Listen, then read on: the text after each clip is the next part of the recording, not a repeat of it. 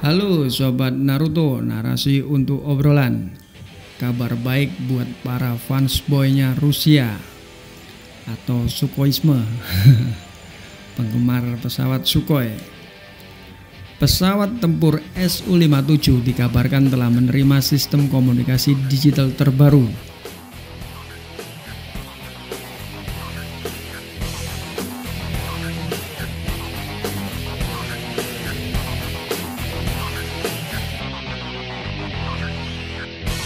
Biasakan membaca berita dengan selalu ingat kepada Sang Pencipta agar jernih dalam menyikapi informasi yang kita terima.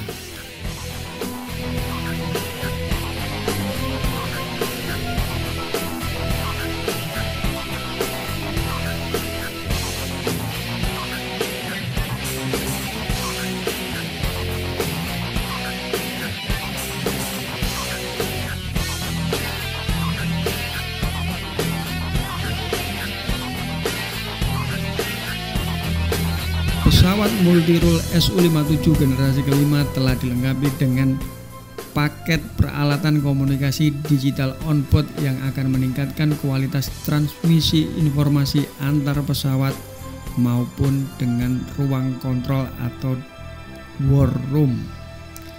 Peralatan tersebut dikembangkan oleh anak perusahaan Rostec yaitu Rus Electronic. Paket ini beroperasi dalam rentang frekuensi yang tinggi dan sangat jernih, memiliki kekebalan kebisingan dan pengintaian yang sangat akurat dengan peningkatan yang sangat signifikan. Peralatan komunikasi digital onboard ini dapat digunakan juga untuk pesawat jenis sebelumnya, termasuk pesawat ya MiG-21, MiG-31, dan pesawat Sukhoi 27 jadi pesawat tempur Rusia nantinya akan diganti dengan sistem komunikasi terbaru ini. Ini tidak lepas dari kemajuan atau kemandirian Rusia dalam menangani swasembada chip nah, memproduksi sendiri lewat anak usaha Rostek yaitu Rus Elektronik.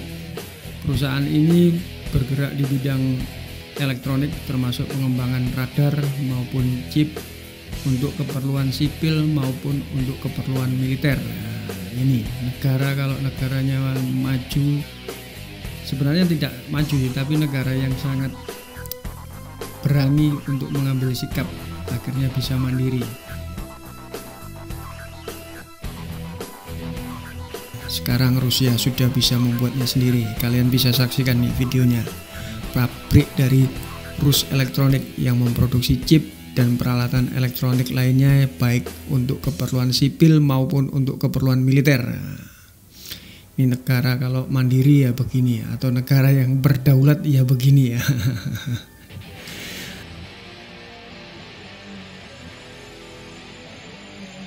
Bagaimana dengan negara kalian? Eh, sorry. Maksudnya bagaimana menurut pendapat kalian akan video ini? Silakan duel di permukaan kolom komentar yang disediakan oleh YouTube.